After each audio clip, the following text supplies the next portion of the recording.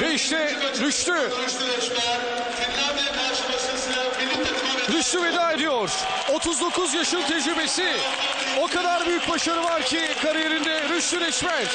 Bütün alkışlar onun için onun vedası bütün oyuncularımız Rüştü'nün yanında. 1991'de Antalya'da başlayan futbol serüveni Rüştü için 2003'te Barcelona'da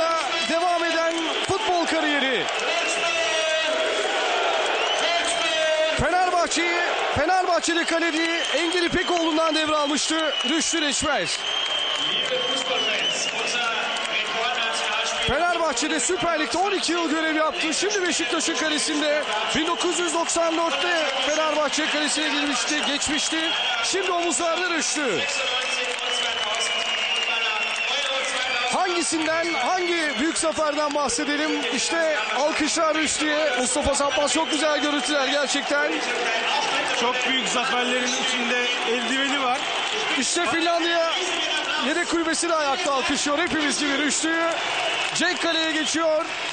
Ee, gurbette çok uzaktayız ve tüylerimiz diken diken gerçekten.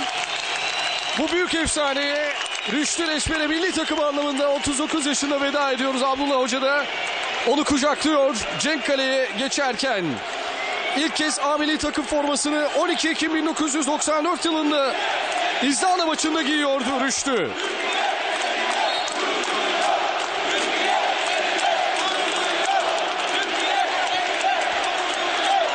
2002'de Dünya Kupası'nda çeyrek final başarısı